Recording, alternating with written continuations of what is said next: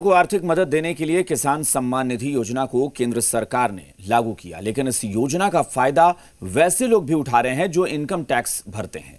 भोजपुर ज़िले में ऐसे 814 लोगों की पहचान हुई है जो इनकम टैक्स भी भरते हैं और किसान सम्मान निधि का फ़ायदा भी उठा रहे हैं। और अब जब इसका खुलासा हुआ है तो जिला प्रशासन ऐसे लोगों से वसूली करने का काम शुरू कर चुका है। लेकिन सवाल एक है बाकी वो ये कि आखिर सिस्टम में चूक कहाँ होती है कि गैर जरूरतमंदों को भी योजनाओं का लाभ देने का कागज़ बन जाता है और वो फ़ायदा भी उठाने लगते हैं। किसान सम्मान निधि योजना में धांधली। इनकम टैक्स भरने वाले ले रहे हैं फ़ायदा। भोजपुर में 814 फर्जी लाभार्थी की पहचान। किसानों की आर्थिक हालत को सुधारने के लिए केंद्र सरकार की तरफ़ से किसान सम्मान निधि योजना को चलाया जा रहा है।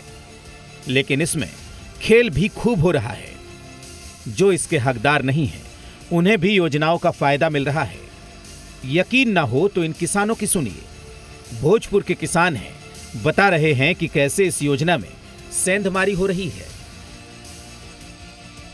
हमारे गाँव में एक सौ इकतीस किसानों को मिला है। सामान के बिक्री कर पंचायत। ऐसे भी लोग हैं जिनको नहीं मिलना चाहिए था जो इनकम टैक्स पे ही है हाँ। वो आपके गाँव में मिला है क्या? मिला है तीन आदमी को जिनका नाम आया है पर। दरअसल इस खेल का खुलासा हुआ तो केंद्र सरकार के भी होश उड़ गए। तुरंत कार्रवाई का आदेश दिया गया। दरअसल भोजपुर ज़िले के कुल 814 लोग जो आयकर रिटर्न भरते हैं उन्होंने इस योजना में कुल अड़सठ लाख सड़सठ हज़ार रुपए का लाभ लिया है। जब इसकी भनक सरकार को लगी तो केंद्र सरकार ने आनन फानन में वैसे सभी लोगों को नोटिस जारी कर दिया, जो आयकर रिटर्न भरते हैं और जाँच कर लाभ लिए गए रकम की रिकवरी की ज़िम्मेदारी सौंपी। भोजपुर जिला कृषि विभाग ने तुरंत कार्रवाई करनी शुरू कर दी और छह लोगों से अभी तक बयालीस हज़ार रुपए की वसूली की जा चुकी है। कुछ लोगों के द्वारा इसका गलत फ़ायदा लेने के लिए या हो सकता है अज्ञानतावश उन्होंने ऐसा किया है परंतु जो भी राशि अगर गई है तो उसको सबको वापस किया जा रहा है। उन लोगों को नोटिस भेजा गया है जिसके तहत जो है छः किसानों के द्वारा राशि जमा कर दी गई है सरकार सरकार के खजाना में। शेष बचे किसानों से भी राशि वसूली की कार्रवाई की गई है। अब पुनः जो है उन लोग को रिमाइंडर दिया जा रहा है।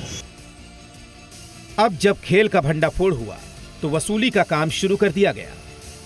लेकिन जिन्हें इस सम्मान निधि योजना का लाभ मिलना चाहिए वो अभी भी भटक रहे हैं। कोइलवर के कुल्हरिया में हमें ऐसे किसान भी मिले जिन्हें इस सम्मान की ज़रूरत है। किसान लोग खातिर फार्म भराई रहे वो पैसा रुआ लोग मिलल।